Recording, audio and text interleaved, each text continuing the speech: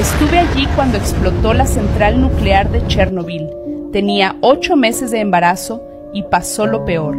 Mi nombre es Lyudmila Panasetska. En la madrugada del sábado 26 de abril de 1986 sentí un terremoto. El ruido de los platos sobre la mesa golpeándose entre sí era evidente, señalando el repentino temblor.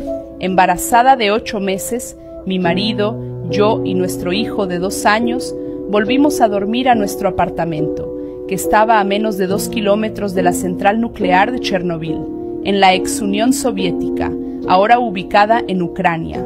Lo que percibí como un terremoto fue, en realidad, el efecto de la explosión del reactor número 4 RBMK en la central nuclear de Chernóbil. Según la Agencia Internacional de Energía Atómica, el reactor se salió de control durante una prueba de baja potencia, provocando un incendio que demolería el edificio y liberaría grandes cantidades de radiación a la atmósfera.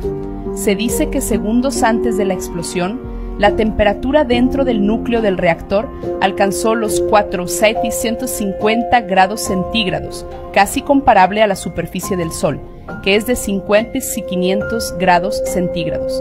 La fuerza de la explosión, equivalente a 66 toneladas de trinitrotolueno, TNT, destruyó el techo del edificio del reactor de 20 pisos, todo el interior del núcleo, y expulsó al menos 28 toneladas de desechos altamente radiactivos a las inmediaciones. Esto inició un incendio radiactivo que ardió durante casi dos semanas, enviando una enorme nube de gases y polvo radiactivos a la atmósfera, moviéndose hacia el norte y el oeste con el viento.